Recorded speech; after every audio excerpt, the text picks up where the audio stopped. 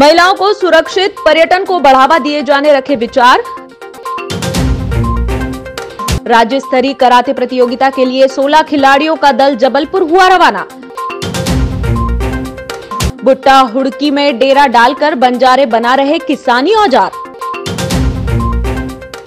मध्य प्रदेश शासन के प्रबंध संचालक एवं प्रमुख मध्य प्रदेश टूरिज़्म बोर्ड एवं पर्यटन विभाग के पत्र के परिपालन में कलेक्टर डॉक्टर गिरीश मिश्रा और जिम सीईओ विवेक कुमार के मार्गदर्शन में जिला पंचायत में गुरुवार को डीएटीसीसी के सहयोग से एक कार्यशाला का आयोजन किया गया। शालेय राज्य स्तरीय कराते प्रतियोगिता के लिए बालाघाट ज़िले से 16 खिलाड़ियों का दल गुरुवार 17 नवंबर को जबलपुर रवाना हुआ और जबलपुर से टीम इंदौर के लिए रवाना होगी, जहाँ इंदौर में 18 नवंबर से 21 नवंबर तक प्रतियोगिता आयोजित की जानी है। लालबर्रा मुख्यालय सहित क्षेत्र से गुजरे राष्ट्रीय राजमार्ग पर स्थित ग्रामों में सागर ज़िले के देवरी से पहुँचे बंजारों के द्वारा डेरा जमाकर किसानी औज़ार बनाए जा रहे हैं।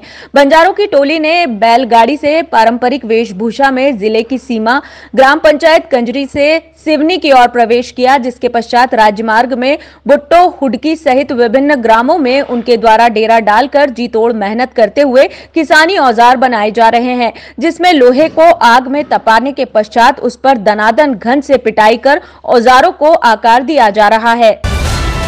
स्थानीय उत्कृष्ट विद्यालय मैदान में खेली जा रही अंतर्राज्यीय 2020 विधायक कप क्रिकेट प्रतियोगिता के तीसरे दिन पहला मैच बालाघाट ब्लास्टर एवं बरवेली के बीच खेला गया, जिसमें बालाघाट ब्लास्टर के कप्तान ने टॉस जीतकर पहले बल्लेबाजी करने का निर्णय लिया। निर्धारित 20 ओवर में एक रन बनाए, लक्ष्य का पीछा कर रही बरवेली की टीम मात्र एक सौ छप्पन रन बना पाई। इस तरह बालाघाट ब्लास्टर ने इकतीस रनों से मैच जीत लिया।